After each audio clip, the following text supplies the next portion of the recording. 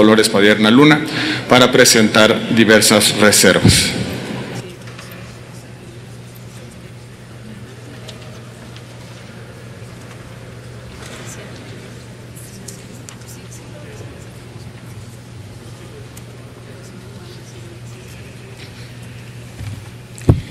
Gracias, presidente.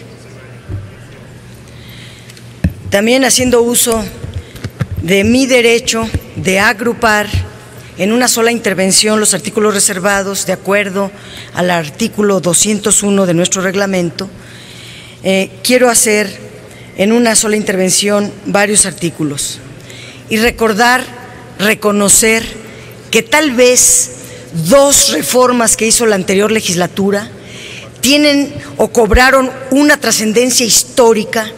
Una fue la de junio de 2011, de elevar, de poner en el uno constitucional los derechos humanos, y la otra fue poner a nivel de rango constitucional el derecho de réplica.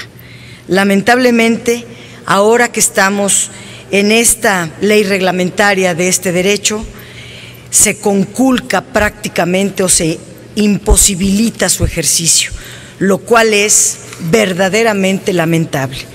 Y tengo que volver a subrayar lo que varias compañeras y compañeros han dicho aquí. El derecho de réplica es un derecho humano que en México desafortunadamente está a la deriva. El cumplimiento de este derecho humano se supeditó a voluntad del emisor de la información errónea o agraviante se le da a quien comete este delito la definición si otorga o no el derecho de réplica, con el consecuente quebranto a otros derechos, como el derecho a la información, al que tenemos derecho todos los mexicanos, y el honor de la persona agraviada. Además, de que se perdió de vista la importancia del derecho de réplica para la construcción de la democracia, cuando nosotros en la tarea política lo que debemos hacer es justamente provocar la transición hacia la democracia. La réplica es parte de los derechos y libertades informativas, por lo que una deficiente ley reglamentaria en materia de derecho de réplica trastoca directamente la libertad de expresión y el derecho a la información. La ley reglamentaria debería de incluir los principios indispensables para el ejercicio del derecho de réplica, el principio de legalidad, de gratuidad, de equidad, de proporcionalidad, de oportunidad. Ninguno de estos principios se garantiza en esta iniciativa. Esta iniciativa carece de lo esencial para garantizar el derecho de réplica y pueda ser entonces un ejercicio eh, práctico. Tiene barreras injustificadas para el acceso a la justicia, impide que se respete debidamente este derecho humano y deja fuera a la réplica imponiéndosele que sea un instrumento para la construcción de la democracia. Las consideraciones más importantes, como ya se explicó el artículo 2, el artículo 5, quiero irme directamente al artículo 10, la presentación de la queja. El derecho de réplica debe ser un derecho de fácil ejercicio y cercano a la ciudadanía. El dictamen solo contempla que la réplica se solicite mediante una comunicación mediante un escrito que debe ser entregado físicamente en el domicilio del medio de comunicación. Esto elimina la sencillez, pero supóngase que el agraviado vive en Ciudad Juárez o en Yucatán, eh, tiene que venir hasta acá, pagar avión eh, una y tantas veces cuando sea necesario que se le cite. Elimina entonces también otros derechos, el de la sencillez que debe de imperar conforme la experiencia comparada, dado que aquí uno de los senadores del PRI alegaba el derecho comparado. El Congreso está obligado a que la ley reglamentaria sobre el derecho de réplica considere el principio pro persona establecido en el 1 constitucional establezca también que la solicitud de réplica pueda presentarse por medios electrónicos, dada la era de este eh, la era de la comunicación del Internet. Además, plasmar en la ley las facilidades necesarias para que pueda presentarse la solicitud. Y en cuanto a tiempos, nosotros consideramos que esta ley debería de anteponer los derechos de la ciudadanía y por lo tanto darle tiempos holgados al ciudadano o ciudadana agraviados para que pueda presentar su queja y darle tiempos cortos a los sujetos obligados para que respeten a la brevedad el derecho de réplica. Esto se explica al contrario en los artículos 10, 12, 15, 24. El artículo verdaderamente ah, eh, que saca a cualquiera de sus casillas es el artículo 19, que contradice todo lo que los priistas y panistas vinieron a decir en esta tribuna, porque establece, no todos, perdón, los que vinieron a explicar eh, que el derecho de réplica sí se garantiza también para las agencias de comunicación o para los servidores públicos y no. El artículo 19 dice, podrá negarse, el sujeto obligado podrá negarse a llevar a cabo la publicación o transmisión de réplica en los siguientes casos. Y en la fracción séptima dice, cuando la réplica verse sobre información oficial que en forma verbal o escrita emita cualquier servidor público y que haya sido difundida por una agencia de noticias o medio de comunicación. Y la fracción octava dice, cuando la información publicada o transmitida por el medio de comunicación provenga de alguna agencia de noticias y se haya citado a dicha agencia. Es decir, ni los servidores públicos, ni los las comunicaciones del gobierno ni de las agencias de comunicación van a ejercer el derecho de réplica. Puedo citar aquí 20 casos rápido de servidores públicos que mienten, empezando por Peña Nieto y su publicidad falsa en relación a varios temas. Estas dos, eh, dos, fracciones del artículo 19 al menos deberían de cancelarse para estar diciendo la verdad varios de los que aquí intervinieron. Yo eliminaría todo el artículo 19, pero al menos estas dos fracciones serían necesarias eliminar, porque exceptuar del cumplimiento del derecho de réplica al gobierno y a las agencias de noticias resulta inaceptable. No se puede restringir ni limitar un derecho humano. Las restricciones a los derechos humanos están establecidas por la Suprema Corte de Justicia de la Nación y por la Corte Interamericana de los Derechos Humanos. Dice la Suprema Corte que se debe de cumplir con el test tripartita que obliga a que para poder limitar un derecho humano, esta limitante tenga que estar primero en ley y segundo, se oriente a cubrir objetivos imperiosos autorizados por la Convención Americana de los Derechos Humanos para poder garantizar la excepción y que sea proporcional a la finalidad perseguida. Los casos en que un sujeto obligado pueda negarse a la réplica, siendo un derecho humano, que se ponen en este dictamen no cumplen con el test tripartita ordenado por la Suprema Corte de Justicia y por la Corte Interamericana de los Derechos Humanos. Y por lo tanto podemos apelar a esa instancia. La excepción de que la réplica no procede contra la información oficial dada por un servidor público o difundida por una agencia de noticias o algún medio de comunicación vulnera el derecho de los los mexicanos a saber, vulnera la dignidad de la persona aludida por información errónea, falsa o agraviante. No existe justificación alguna para quebrantar los derechos humanos. No es aceptable que los servidores públicos no estén obligados al derecho de réplica. Deberían de ser los primeros en cumplir la Constitución. No hay diferencia entre si la información agraviante la dice un servidor público o un periodista. ¿Por qué el servidor público va a tener la excepción? Lo mismo puede decirse de las agencias de noticias. La excepción que admite este dictamen es injustificable. ¿Acaso una agencia de noticias no puede difundir información falsa, errónea? ¿O será que quienes trabajan en una agencia de noticias no cometen errores? ¿Pudieran cometerlo también?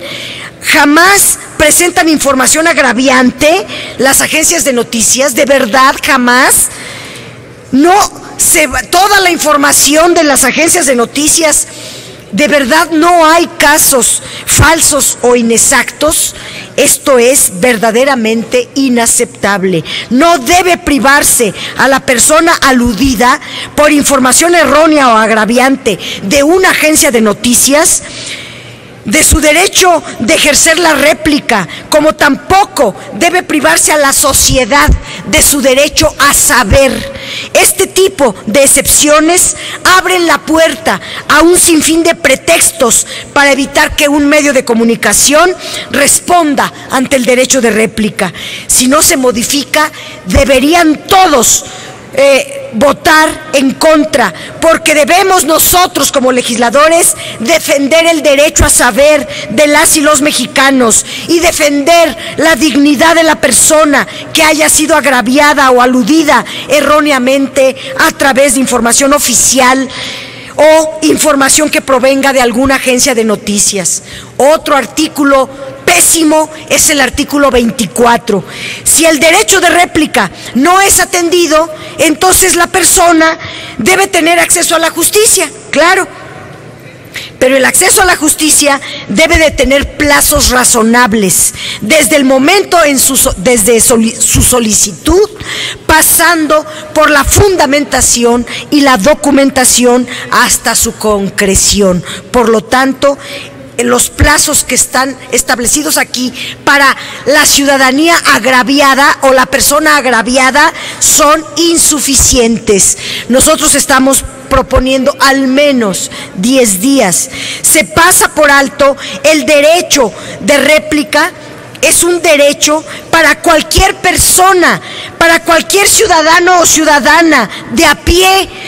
No va dirigido solo a empresarios, a adinerados que puedan tener toda la asesoría legal experta y todos los recursos para ganar un juicio, llevar la solicitud hasta un juzgado de distrito que además puede estar fuera de su localidad de acuerdo a este dictamen.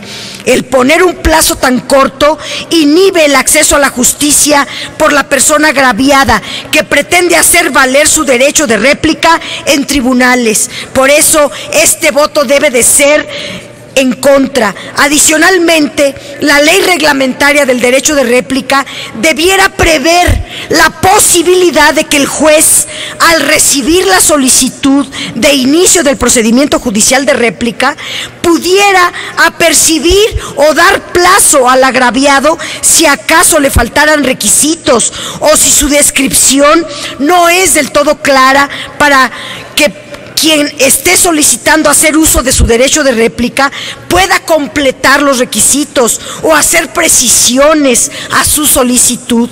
Estas serían medidas consideradas en un principio pro persona, pero el dictamen asume que todos son peritos en derecho, que todos tienen despachos y los que todos pueden tener acceso rápido a los requisitos para presentar eh, todo perfecto Caso contrario, su solicitud será rechazada, desechada. En cuanto a acceso a la justicia, se deben establecer plazos cortos, eso sí, máximo de dos días para que el juez emplace al medio de comunicación a cumplir con la réplica. Esto eliminaría la incertidumbre y contribuiría con la agilidad necesaria que haga viable el derecho de oportunidad que debe de imperar pero el dictamen no establece plazo máximo, lo deja a la deriva, a la decisión del juez y no poner plazo, no poner tiempo, es meterlo al túnel del tiempo para que no se pueda ejercer el derecho. Solo dice este dictamen en forma inmediata, pero queda a juicio del juez la que debiera ser, lo que debiera ser explícito en la ley para que la justicia sea pronta y sea expedita. Otro artículo agraviante es la carga de la prueba establecida en el artículo 25. Es gravísimo que ustedes voten a favor porque es un principio aceptado y asumido que la carga de la prueba debe recaer sobre el medio de comunicación que publique la información falsa, inexacta o agraviante. No a la persona agraviada quien pretende hacer uso de su derecho de réplica. Así se asume en todos los países respetuosos del derecho de réplica. Senador que pedía el comparativo internacional, pero en México se pretende que la carga de la prueba recaiga en el ciudadano agraviado. Hasta por sentido común resulta obvio que toda vez que tiene bajo su control las publicaciones y los programas que difunde, es el medio de comunicación y no la ciudadanía quien debe de asumir la carga de la prueba. Contrario a ello, este dictamen de ley del derecho de réplica pone la carga de la prueba a los ciudadanos de a pie, no al medio de comunicación, o sea, que el ciudadano, la ciudadana que pretenda iniciar el procedimiento judicial de réplica debe de tener copia del programa o de la publicación o haberla solicitado al medio, si no, entonces se desecha el procedimiento.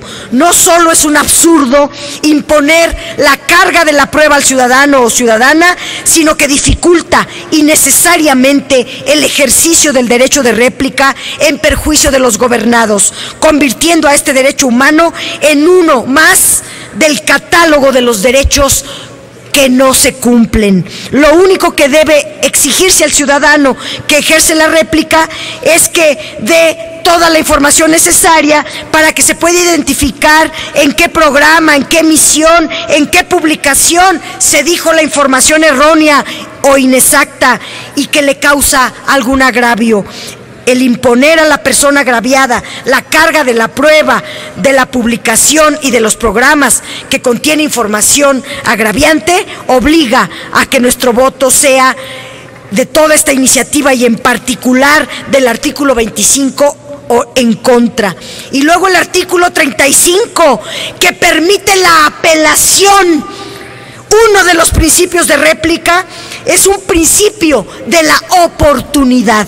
Es decir, que la solución debe ser lo más pronta posible para que la información se corrija, para que la sociedad tenga casi de inmediato la información, motivo del derecho de réplica. Sin embargo, dentro del dictamen, además del procedimiento ante el medio de comunicación que tarda como 20 días, el procedimiento judicial, en el procedimiento judicial se instaura el recurso de apelación, que no tiene ninguna razón de existir en este caso.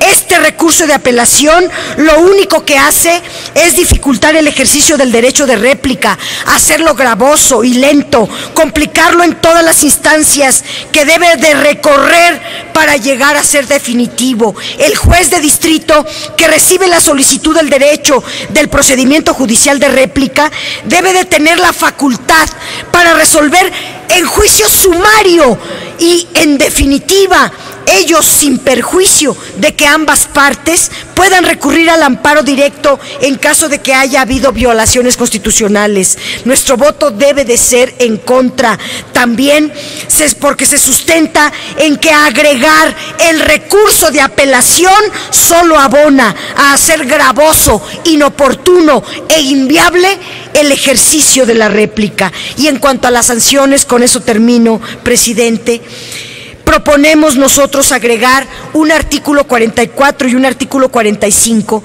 porque si bien el dictamen establece sanciones, homologa a todos los medios por igual, se olvida esta ley que las sanciones deben inhibir conductas contrarias a la ley reglamentaria y por otra parte considerar que hay situaciones especiales que exigen un tratamiento diferenciado cuando se trata, por ejemplo, de medios comunitarios, de medios a cargo de los pueblos, comunidades indígenas.